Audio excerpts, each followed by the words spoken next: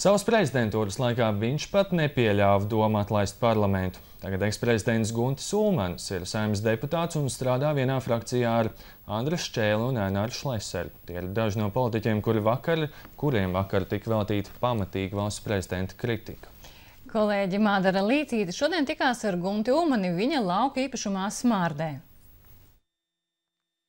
Jautājums, vai šis zobens ir precīzi trāpījis tur, kur bija domājis iepriekšējais prezidents, vai eh, pašreizējiem prezidentam ir bijis pilnīgi skaidrs, kur šis zobens nokritīs. Tā savu kolēģi valdes atvēra lēmumu vērtē eksprezidents Gunts Sulmanis. Viņš pats atzīst, ka savā prezidentūras laikā šādu iespēju par saimnes atlaišanu nav pat pieļāvis. Te bija grūti laiki, un eh, tajos laikos prezidentam bija uh, es gribētu teikt, daudz lielāka atbildība. Un man nekad nebija tās domas, ka man savus kolēģus parlamentā vajadzētu nu, palūgt uz kādu laiciņu atkāpties. Ulmanis politisko situāciju salīdzina ar futbolu un domā, ka Zatleram saimai vajadzēja izteikt brīdinājumu, ja parādīt zeltaino kartīti. Ārpusēji izskatās, ka šis jautājums tika pieņemts uh, gaidāmo prezidenta vēlēšanu iespaidā. Ja es ņemu vērā to, ko es zinu par prezidentu, gan viņu personīgi, gan arī kā prezidentu, eh, es domāju, ka viņš tā, tā nedomāja. Eh, man liekas, ja viņš bija gatavs šādam solim, tad Latvijas universitātē lekcijā viņam vajadzēja par šīm problēmām runāt un parādīt deputātiem dzelteno kartīti. Pirms viņš parādīja sarkano. Bet uh, ir druskuļi pārkāpts varbūt ētikas kodeks, tīri uh, sakot, procesuālais arī, ka uh, Latvijas universitātei bija runa ļoti pozitīva. Viss ir vislabākajā kārtībā, draugi mīļie.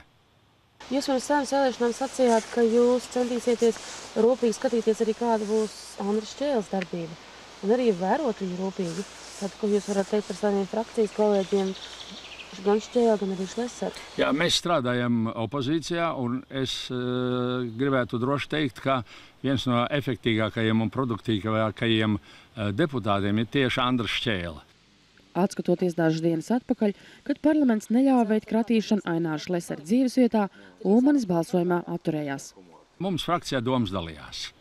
Eh, domas dalījās tādā ziņā, viena daļa deputāti domāja, ka mm, Aināram vajadzēja uzkāpt uz tribīnas un, un ka sakoties krūtis padarīt daudz redzamāks un plašāks un, un pateikt, uh, dariet tas, kas ir likuma robežās, un man nav nekāda iebilduma un nav nekāda komentāra. Uh, daļa domāja, ka ir jāiebilst pret uh, tiesisko nihilismu. Ulmanis saka, ka pats nekad neesot izjutis mēģinājums ietekmēt viņa darbu saimā. Prezidents diezgan precīzi norādīja, ka kādas provinces eh, pilsētas eh, vadītājs ne, eh, nosaka, ko darīt valsts vadītājiem, šī gadījumā premjeram. Un, tā ir premjera Dombrovska ka, teiksim, neizlēmība, ka viņš nespēja pats šo mezglu pārcirst un tikt vaļā no šīs ietekmes, kāda viņam bija Ventspils teiksim, cilvēkiem.